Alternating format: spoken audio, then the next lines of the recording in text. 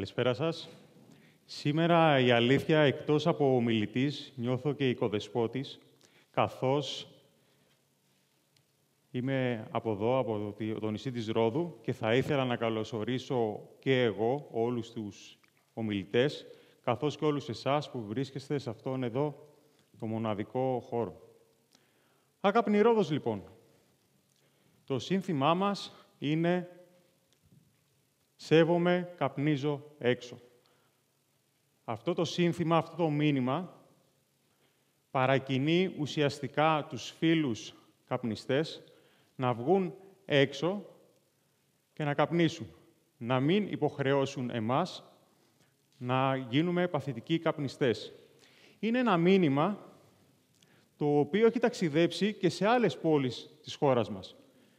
Είναι ένα μήνυμα το οποίο πρόσφατα είδα ότι ταξίδεψε στην Καλαμάτα και στην Κρήτη. Η ομάδα Άκαπνη Ρόδος δημιουργήθηκε για όλους εμάς. Όλους εμάς οι οποίοι θέλουμε, θέλουμε να απολαύσουμε τον καφέ μας, το φαγητό μας, το ποτό μας, χωρίς να μας ενοχλεί ο καπνός του άλλου. Είναι μια ομάδα η οποία θέλει να δημιουργήσει ένα αίσθημα, ένα κλίμα αλληλοσεβασμού. Αυτός είναι ο σκοπός μας. Η ομάδα μας, ε, η Άκαπνη Ρόδος, με συγχωρείτε, όπως είπα, δημιουργήθηκε για να μπει σε μια διαδικασία να πείσει τους φίλους καπνιστές να πάνε έξω. Προσωπικά, όσες φορές έχω μπει σε αυτή τη διαδικασία, έχουμε πάει με τους φίλους τους καπνιστές έξω, είτε αφορά κάποιο σπίτι, είτε αφορά κάποιο ε, χώρο, κάποιο καφέ. Γιατί με αυτόν τον τρόπο η παρέα δίνει το καλό παράδειγμα. Η ομάδα μας, θέλοντας να γίνει πιο δυνατή, συνεργάστηκε και με άλλους ε, φορείς, με άλλους συλλόγους. Άλλους συλλόγους όπως ε, οι αιμοδότες, ο Σύλλογος Αιμοδοτών Ρόδου, όπως η Αντικαρκυνική Εταιρεία, ο Ιατρικός Σύλλογος Ρόδου, ο οποίος μας βοήθησε πάρα πολύ να μπούμε σε μια διαδικασία να το εξετάσουμε το παθητικό κάπνισμα και ε, ιατρικά.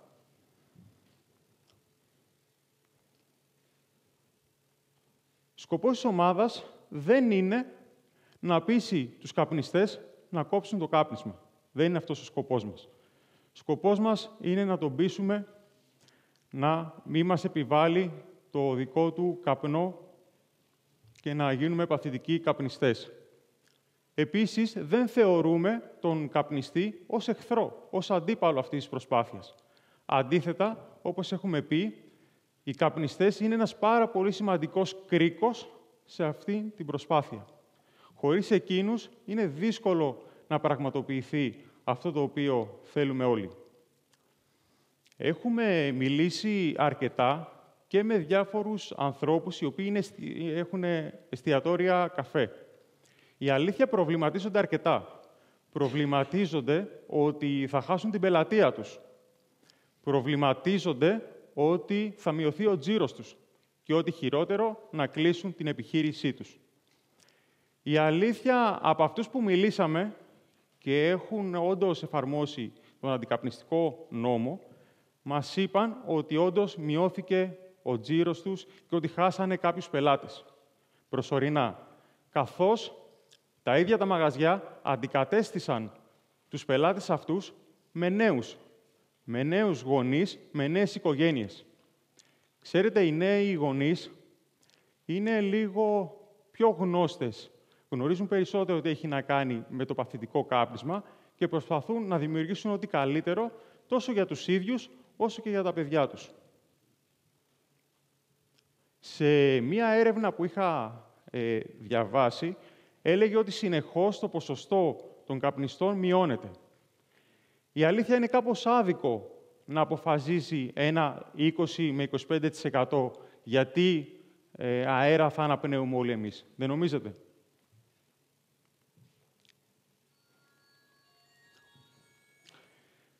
Δύο φωτογραφίες που δείχνουν το κάπνισμα σε σχέση με τα μικρά παιδιά. Όσοι πηγαίνουν ε, και περνάνε από κάποιο σχολείο, ίσως να έχει τύχει να δουν, μαζί με τα παιδιά που πηγαίνουν στο σχολείο, να δουν να μεταφέρεται μαζί τους και ένα καπνό, και ένας καπνός από τα τσιγάρα. Είμαστε όλοι υπεύθυνοι, ο καθένας για τον εαυτό του, αλλά και συνολικά. Είμαστε υπεύθυνοι και θα πρέπει ο καθένας από εμάς να προστατεύει τα παιδιά, να προστατεύει τις εγγύους, τις ευπαθείς ομάδες, αυτοί οι οποίοι έχουν χρόνια αναπνευστικά προβλήματα, αλλά και για τον καθένα από εμάς.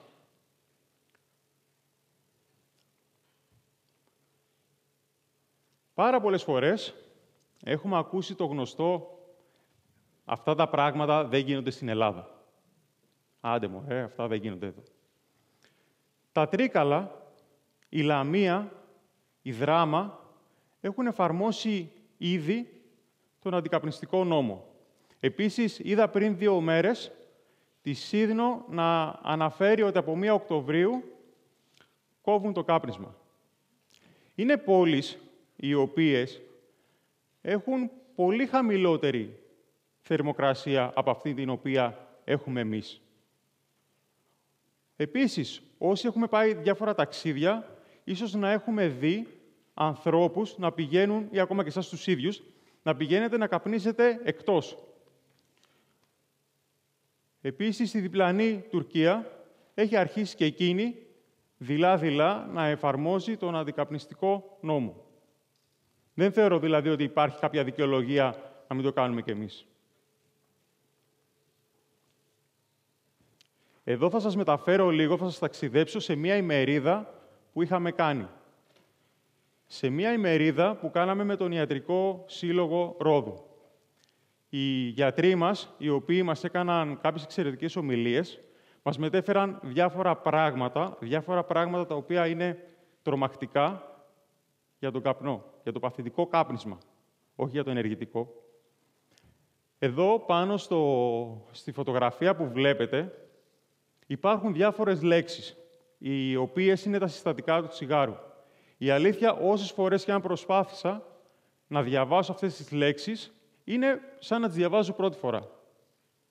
Δεν είχε καμία διαφορά με την επόμενη. Αυτό όμως που συγκράτησα και θέλω να κρατήσετε κι εσείς, είναι πως το τσιγάρο, ο καπνός που εισπνέει ο καπνιστής, και γνωρίζουμε όλοι πόσο κακό κάνει το τσιγάρο, έχει ένα φιλτράκι. Ο μπροστινός καπνός δεν έχει.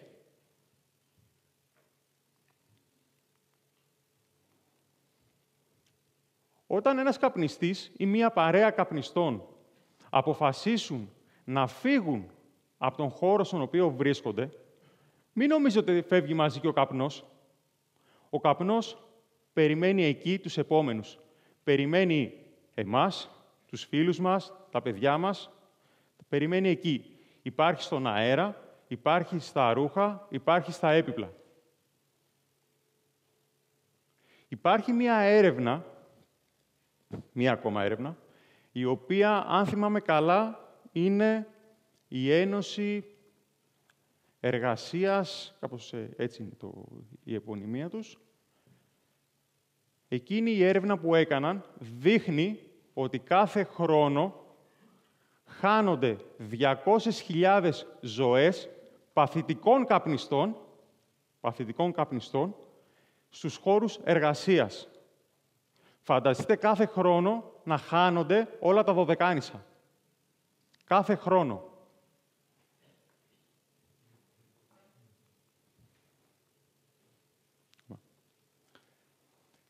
Τι κάνουμε λοιπόν, τι κάνουμε για όλα αυτά; Η Άκαπνη Ρόδος προσπαθεί, πέρα από την ημερίδα την οποία κάναμε με τους γιατρούς μας, να πάει και σε ένα κομμάτι ευαισθητοποίησης και ενημέρωσης. Ενημέρωσης μέσα από κάποιες εκδηλώσεις, συνήθως, όπως βλέπετε στη φωτογραφία, με μοίρασμα φυλαδίων. Με αυτόν τον τρόπο, όχι μόνο ενημερώνουμε τους ε, ανθρώπους για τις, ε, ενέργειες, τις παρενέργειες του παθητικού καπνίσματος, αλλά το σημαντικότερο είναι πως τα παιδιά ενημερώνονται, κάνουν την πρωτοβουλία της άκαπνης ρόδου δική τους, ενστερνίζονται όλη αυτή την πρωτοβουλία και πάνω απ' όλα μπαίνουν σε ένα σημείο να καλλιεργήσουν τον εθελοντισμό τους. Σε αυτό το κρίσιμο σταυροδρόμι μεταξύ της δοκιμής ή μη του τσιγάρου, εμείς τους φέρουμε δίπλα μας, αγκαλιάζουν την άκαπνη ρόδο και γίνονται ένα με αυτήν.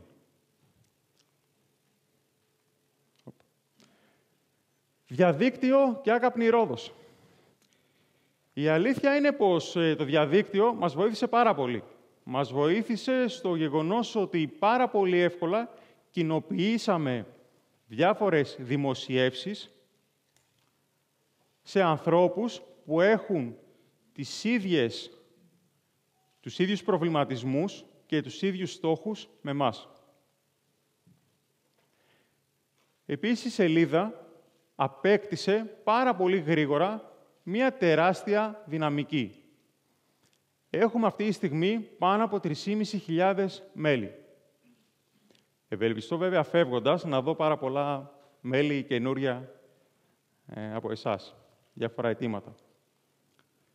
Η Άκαπνη Ρόδος, επειδή μιλήσαμε πριν για το πόσο σημαντικό είναι για μας η συνεργασία, καθώς κάθε φορά συνεργαζόμαστε και κάποιον άλλον φορέα, συνεργαστήκαμε με την άκαπνος.gr και την ψυχαγωγία χωρίς καπνό. Είναι δύο ομάδες αντίστοιχες με τη δική μας, οι οποίες όμως έχουν 40.000 και 20.000 μέλη αντίστοιχα.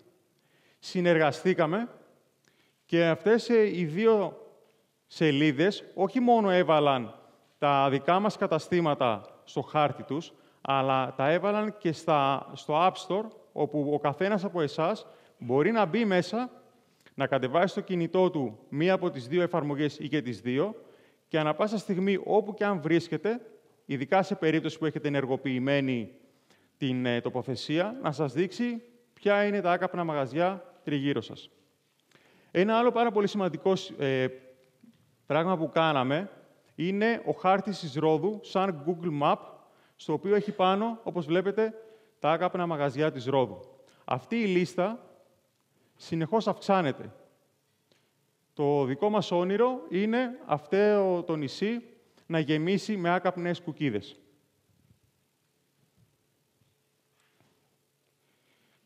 Κλείνοντας, καθώς βλέπω και εκεί το χρόνο και αρχίζει και τελειώνει,